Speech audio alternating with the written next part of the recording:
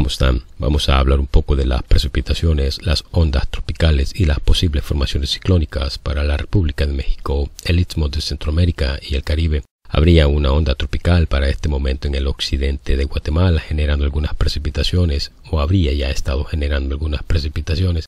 El monzón mexicano continúa generando las precipitaciones en el norte de México, en la costa oeste. Las precipitaciones para este día se espera que sean en el estado de Sonora, aunque muchas otras regiones, como podemos ver acá, según esta gráfica que tenemos, nos muestran donde se han estado generando las últimas horas las precipitaciones y van a continuar para las próximas horas. Para el día de mañana será prácticamente calcado una vez más las precipitaciones esporádicas en algunas regiones y fuertes en otras sobre todo al sur de México debido a esa onda tropical que para este momento estaría ingresando al estado de Chiapas seguramente para el día de mañana. Dicho estado y Oaxaca se verán seguramente afectados o con precipitaciones generados por esta onda. Otras tres ondas tropicales vendrían en camino desde las costas de África, como podemos ver acá, habrían tres en camino que se estarían dirigiendo hacia el Caribe y también para algunas regiones de Sudamérica, pero que eventualmente estarán afectando al istmo centroamericano en esta gráfica podemos ver dónde estaría esa onda tropical que estaría generando esas precipitaciones en el occidente de Guatemala y también en el estado de Chiapas, canales de baja presión también en la República Mexicana debido al monzón un poco más copiosa, las precipitaciones en las regiones altas de la Sierra Madre Occidental,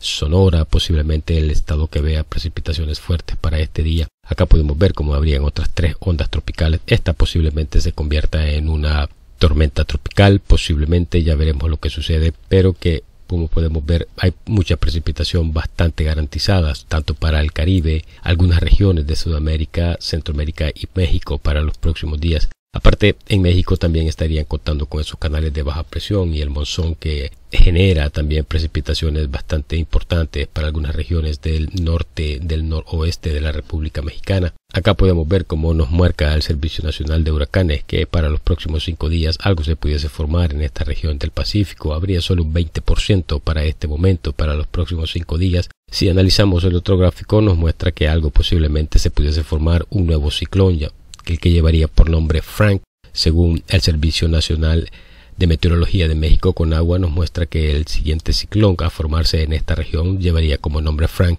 Eh, sin embargo, nos muestran dos posibles ciclones. No sabemos realmente lo que iría a suceder. Cuál de estos dos nuevos posibles formaciones ciclónicas llevaría el nombre como Frank. Sin embargo, lo que es bastante rescatable es que ambas formaciones ciclónicas que nos muestran se estarán desplazando una vez más hacia el oeste, noroeste y no estaría incursionando a ninguna región del territorio de la República Mexicana si estarían ocasionando una vez más precipitaciones para México, sin embargo, no estarían dirigiéndose e impactando ningún territorio habitado de la República Mexicana. Esto es bastante alentador, pues no estaría, no estaría llevando problemas o complicación o generando complicaciones para ninguna región de la República Mexicana. Eso es bastante importante. Esta es la panorámica que tendríamos para este momento. Acá tendríamos a la tormenta tropical Stealth, pero verán que si nos desplazamos para el día 25 podemos ver cómo algo comenzaría a formarse en esta región del suroeste de México. Sin embargo, nos muestra el modelo GFS que posiblemente sea una tormenta tropical bastante débil, pero sería este la que realmente pudiese convertirse en un huracán o en una tormenta tropical. Vean que nos vamos a desplazar hasta el día 28 y ahí podemos ver como para ese día alguna posible formación ciclónica estaría en dirección hacia el Golfo de Tehuantepec, pero que comenzaría a desplazarse igual que el antecesor hacia el oeste-noroeste, generando precipitaciones para los estados del suroeste de México, pero que según el modelo GFS acá en estas regiones ya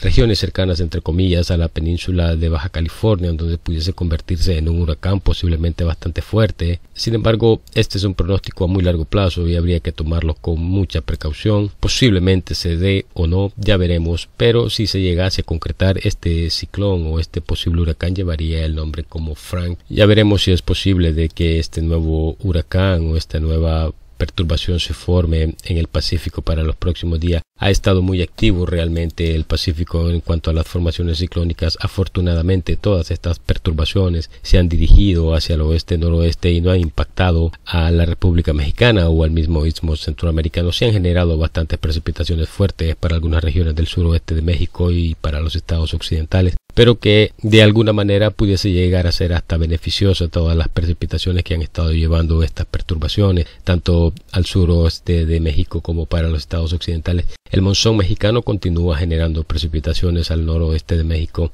También importantes las precipitaciones que se generen en esta región del noroeste, pues es esta época que realmente este territorio de México donde se aprovechan todas estas precipitaciones para poder llenar las presas y recolectar toda esa lluvia, toda esa precipitación tan necesaria para las épocas secas que no llueve prácticamente en, lo absoluto durante mucho tiempo, sobre todo para estados como Sonora, Sinaloa y para toda la península de Baja California. Entonces, en concreto, estas formaciones ciclónicas o estas últimas formaciones ciclónicas han sido bastante beneficiosas, pues mucha humedad se habría eh, formado en estas regiones y desplazado hasta estas regiones como para el estado de Nayarit, posiblemente también para estados como Sinaloa, se habrían visto beneficiados con algunas lluvias que hubiesen generado esta humedad que han generado últimamente estas perturbaciones o estos ciclones en el Pacífico. Ya veremos si sucede lo mismo con las próximas perturbaciones o los próximos ciclones tropicales para la República Mexicana. También precipitaciones en el Caribe, como podemos ver acá, sobre todo para la isla de Cuba, en algunas regiones del Istmo Centroamericano también han estado contando con precipitaciones. Al suroeste de los Estados Unidos posiblemente fuertes las últimas horas también en la península de la Florida, como podemos ver acá, y para algunos otros estados del sureste de los Estados Unidos. Vamos a seguir actualizando para los próximos días lo que siga sucediendo con las precipitaciones y con las posibles formaciones ciclónicas para la República de México, el Istmo Centroamericano y el Caribe.